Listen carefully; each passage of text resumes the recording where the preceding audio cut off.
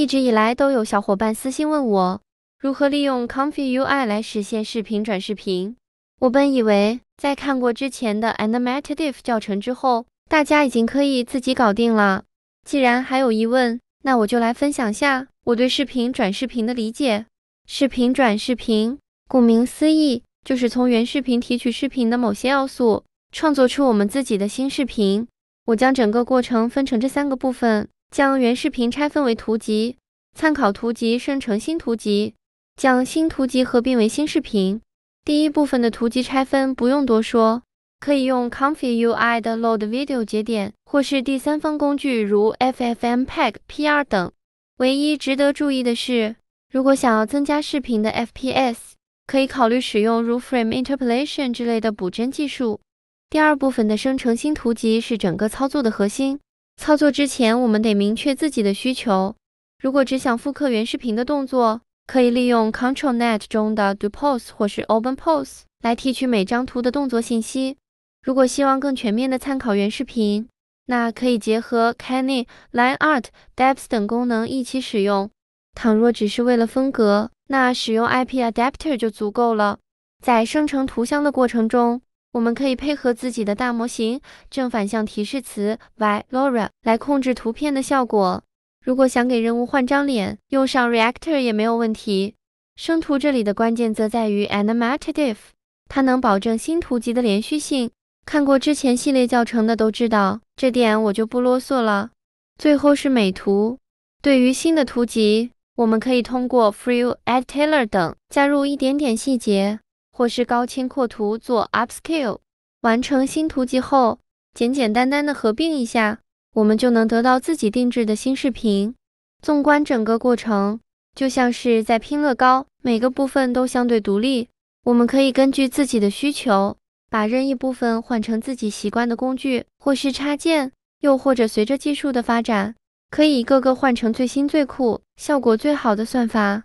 只要保持主线不变。转视频就是这么简单。Talk is cheap. Show me the workflow. 话不多说，我们开始吧。这是本次视频中会使用到的 Custom Notes，大家可以去网上搜索下载，也可以在我视频下方简介中提供的链接里下载。下载完成后放到 Custom Notes 文件夹即可。现在我们进入 Comfy UI，双击屏幕，搜索 Load Video 节点。我们准备好的视频素材会通过这个节点来上传。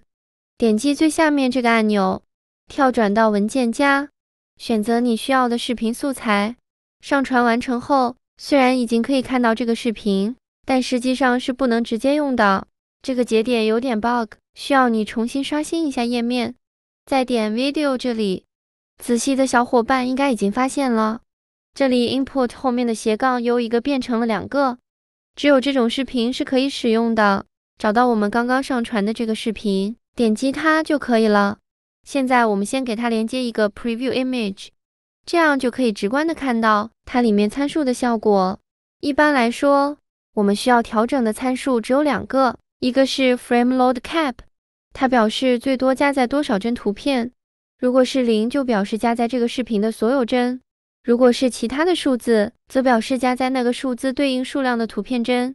比如这里我写个八，点击运行，预览图片节点里就出现了八张图片，数量与我们刚刚填写的数字是对应的。现在把它改成十六，就会得到十六张图片。再来看第二个需要调整的参数 Skip First Frames，它表示的是需要跳过的图片帧。如果是零。就表示不跳过任何帧，直接从第一帧开始读取。如果是其他的数字，则表示需要先跳过对应数量的图片帧后再开始读取。比如这里我写个幺二零，表示的是我需要先跳过一百二十张图片帧，然后再依次拿取十六张图片帧，即整个视频的第一百二十一到第一百三十六帧。点击运行，很快我们就获取到了期望的那十六张图片。通过这两个参数，我们可以灵活的按需选取视频转灰的原图集。现在接着往下走，新建一个 Upscale Image 节点，用于缩放视频中取出的图片。尺寸这里我写上五百四十乘九百六十。虽然我视频素材的尺寸是一千零八十乘一千九百二十，但 Stable Diffusion 直接生成这个尺寸的图效果不是很好，人物的四肢很容易出现问题，且与背景的结合效果很差。我建议先按小尺寸生图后再做高清扩图，这样效果会好很多。接下来我们开始做 ControlNet 的部分，我会给大家多演示几个预处理器，在实际使用中，大家可以根据自己的需求开启一个或多个。首先，我们来新建一些需要的预处理器节点。对于视频转会来说，常用的有 OpenPose、DoPose、LineArt、SoftEdge 以及 Depth。我先增加 OpenPose 预处理器，将它输入端的 image 连接到 Upscale Image 节点上，再在输出端连接一个 Preview Image 节点，点击运行。第一次处理 Pose 的时候会稍微长一些，我们耐心等待一下。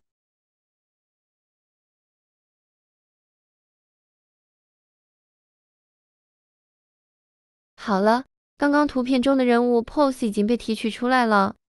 接着，我新增一个 DWPose 的处理器节点。增加这个节点是为了给大家做一个对比。虽然 DoPose 出来后，不少人认为它的效果比 OpenPose 好很多，但在我看来，它俩其实是各有千秋。OpenPose 识别的整体骨骼更优秀，而 DWPose 能更精确的识别手部、脸部等骨骼，因此不能片面的认为 DoPose 是 OpenPose 的替代品。最好是根据自己的视频素材及需求来选择更合适的节点。我们再添加其他几个预处理器的节点以及相应的 Preview Image 节点。执行完成后，大家来观察下各预处理器出来的效果。Linear 对人物线条把握比较仔细，SoftEdge 抓取的是人物大体的轮廓线条，Depth 注重的则是人物的远近纵深关系。现在我们来为预处理器们补充一下 ControlNet 节点模型，需要选择跟预处理器对应的。接下来我们添加一个基础的纹生图流程，新建 Checkpoint 节点，选择一个自己喜欢的大模型，添加 Sampler 和正反向提示词节点，将 Seed 值转成 Input，双击这个点就会自动新建出一个种子节点。Latent Image 这里要连接的是 YEncode 节点，然后将上面的这个 Upscale Image 节点上的 Image 输出端连接过来，增加 Y 节点，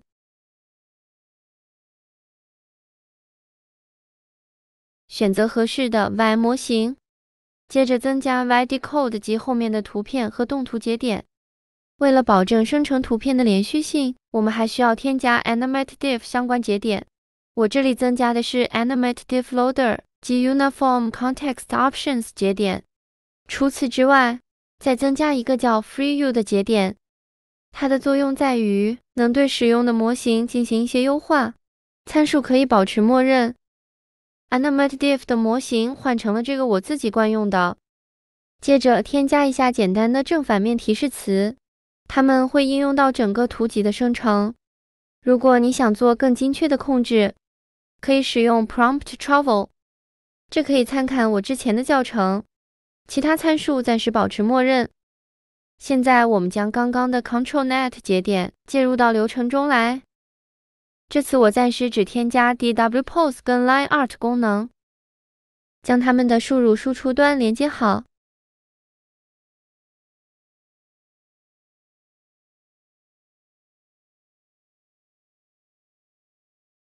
将其他不用的功能禁掉，点击运行。为什么只使用了两个 ControlNet？因为我觉得它们已经能满足我的需求。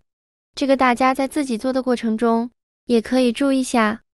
很多时候并不是使用的功能越多越好。例如，同时激活了 LineArt 和 SoftEdge，它们提供的参考有些重复，还会对显卡造成额外的压力。生图的时长也会增加，电脑还不一定承受得住。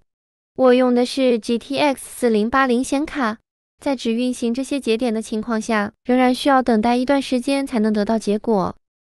在两倍速的加持下，结果出来了。生成动图中的人物动作、姿势等都与原视频的一致，整体动作流畅不闪烁。人物服装则参考了我写的提示词，但画面质量比较模糊，人物的脸部也有些崩坏，我稍微美化处理一下吧。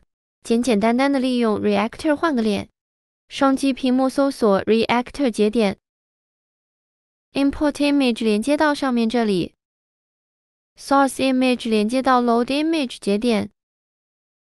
然后选择一张想要替换的脸，将后面的流程节点也完善一下。点击运行，在种子固定且其他参数没做变化的时候，程序运行是比较快的，会直接从 Reactor 节点开始运行。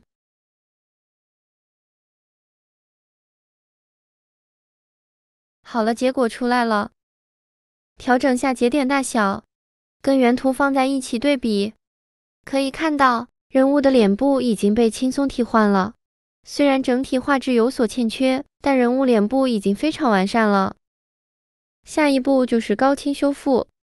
这次我选用的是个人最近比较喜欢的 Ultimate SD Upscale。我们先来找到这个节点，然后将其需要的输入连接好，再新增一个 Upscale Model 节点，模型就用默认的这个 4x Ultra Sharp。接下来。修改一下这个节点里的各项参数，大家可以根据自己的实际情况做一些调整，或者直接参照我的来。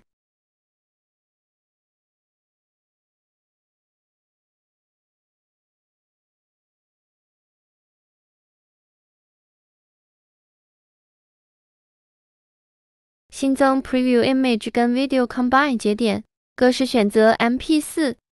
框选 Reactor 相关的这几个节点，将它们拖下来放在高清修复后面，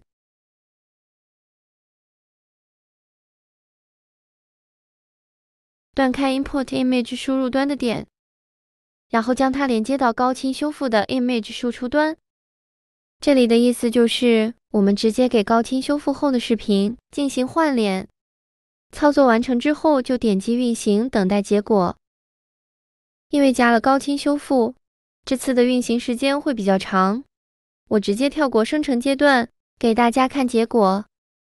这里是放在一起的三个视频的结果，最左边的是原图结果，中间的是高清修复结果，最右边的是高清修复并换了脸的结果。可以看到，高清修复后的视频中，人物的清晰度有了明显的提升，但脸部有些微的闪烁。而经过换脸后的视频，画面不仅高清了不少，脸部状态也更稳定了。以上就是我这次做视频转视频的过程。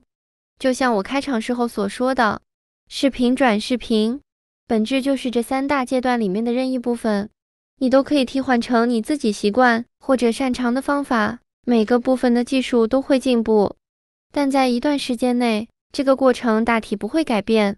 我也希望。大家能给我分享自己的心得体会，共同进步。好了，本次视频的所有内容都结束了，我们下次再见。